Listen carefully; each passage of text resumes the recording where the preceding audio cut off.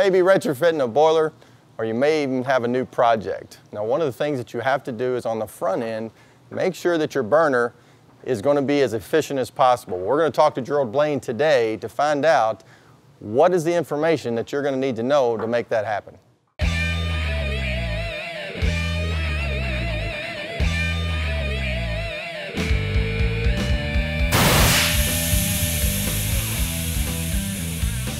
Welcome to the Boiling Point. Today we've got Gerald Blain with us, and anytime Gerald's with us, we're probably going to be talking about combustion or savings of some type. Now, Gerald, I thought we'd talk today.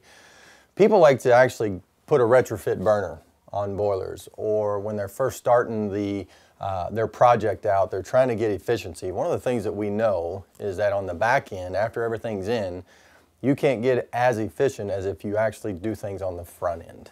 This is true. This is true. So maybe just go through maybe some of the, the, the we'll go through the configurator a little bit, talk a little bit about uh, information that you need to be able to uh, get a more efficient burner, and then we'll just kind of go from there. Okay.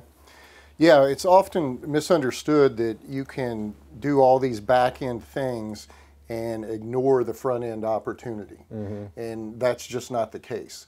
Uh, when you have a boiler, which is a heat exchanger, an economizer, or whatever else you're doing downstream, none of those things will actually uh, get you what you missed out on the front end. Mm -hmm. And the reason that is, is the heat exchangers are designed around uh, one major parameter, and that's the available heat. Mm. So we tend to, as a best practice, try to get the front end right so that the heat exchangers and the other heat transfer or heat recovery systems that you're dealing with can do the job they were intended to do. Mm. And there's a variety of things uh, in that process that can have an impact on all of those other tools. Uh, it could be increased velocity of your combustion system. Mm -hmm. It could be high excess air, which is causing flame quenching, causing the furnace to cool. Mm -hmm. And those things are anti-heat exchanger. So by getting those things corrected, uh, it could be just bad combustion in producing CO and just wasting the fuel. Right. So by us putting the front end in the right position to do the job, we improve the process. We allow all of those back end tools to do the job the way they were designed. Mm -hmm. Now, when you're doing a retrofit, though, you still can get some savings. I'm assuming when you're doing a retrofit on an older system. Yeah, that, that's the whole point of that because we're now we're kind of doing it backwards. When we design a new system, we make sure we do that front end stuff correctly. Right. But in an older system, uh, it's never too late to go back, do a retrofit, get the front end information correct. Mm -hmm. And so what we're able to do, we have some tools. Uh, we have what we call an emissions calculator, okay. and we take a look at what the current system is doing compare it to what we know we can do mm -hmm. uh, because we offer on our retrofits guaranteed performances.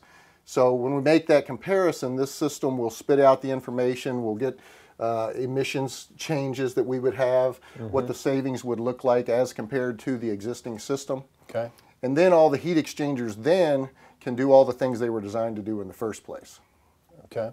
Well, maybe go through some of the, the information that uh, uh, a plant would actually need to give you. Well, the process can start out real simple. We don't like to make our customers do a whole bunch of work, but some of the basics is, you know, what size boilers do you have? Uh, how often are they in operation? If you have the gas bills, we can make some, some comparisons. We usually can do some front end guesstimates of what we think the utilization of the equipment is, mm -hmm. and then we can compare it later to what your gas bills actually are. Mm -hmm. So just knowing the size of the equipment and how they're used in terms of are they are they used 24/7, are they used two shifts a day for five days, mm -hmm. those kind of things help us get started on the input. Mm-hmm. Uh, more uh, detailed information later to make sure everything's matching up is if we could get analyzer readings, see the exact combustion performance at different levels, mm-hmm. uh, what the fuel costs are that you're using. We usually can make some guesstimates by going to the internet and looking at what fuel prices are. Mm-hmm. Uh, and knowing how often you're operating and getting your gas bill to make the comparisons. Right, and the actual, maybe actual load as well. I mean, you got your boiler sizes, but what about how that thing is running through the day? Is it, what type of turn down? Yeah, when, if you have that kind of information, that's great. Usually our comparison with analyzer readings and your fuel bill, mm -hmm. we can kind of get a general profile, mm -hmm. plus having a conversation with the guys that are involved uh, with the equipment, they kind of know what kind of loads happen during different parts of the day. So getting that communication. But it usually starts with the basics of give us the size of the boilers and how often you operate. We'll run a preliminary estimate and then we'll work our way down to the final numbers. Okay.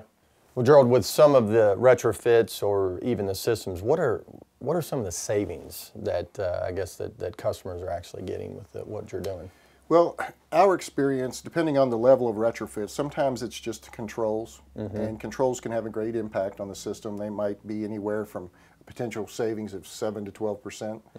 Um, the limiters become what we're putting those controls on.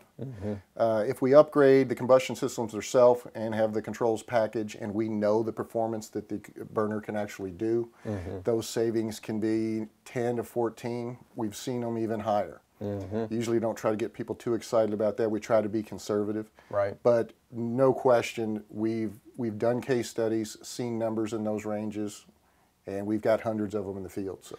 And we know that linkage to linkageless, we get savings. Mm-hmm. What about other linkageless burners? Mm-hmm. And you're replacing it with another linkageless burner. Can you get savings there? Yeah, we usually can get anywhere from another uh, six to eight percent Okay. uh, because we know the performance criteria of our burner, and when we compare and see what's actually happening with their burner in the field, we can make that comparison with our tools and know that we can provide that additional savings. Right, right. Now, um, maybe some information that uh, we can give to the folks. Um, I think you're going to be working on something that uh, Yeah, be we're gonna cool. we're gonna come up with an online form where you can go to our website and plug in this information if you have it, and it'll come straight to us. We'll do an evaluation, send you a report. You can look at it, see if it makes sense to discuss any further, and then we can put together an ROI for you on uh, what kind of equipment it would take to get these kind of performances. Until then, you can actually just use the old telephone and give him a call and actually ask those questions. Correct. And he's got his 50th birthday coming up really soon, so you can wish him a happy 50 coming up March 13th. So, uh, well, we'll see you next time on the Boiling Point. Appreciate Gerald hanging out with us, talking a little bit about how we can make that burner and boiler room much more efficient. Well, like us on Facebook, follow us on Twitter. If you don't mind, maybe subscribe to the YouTube channel and maybe share a video. We'll see you next time on the Boiling Point.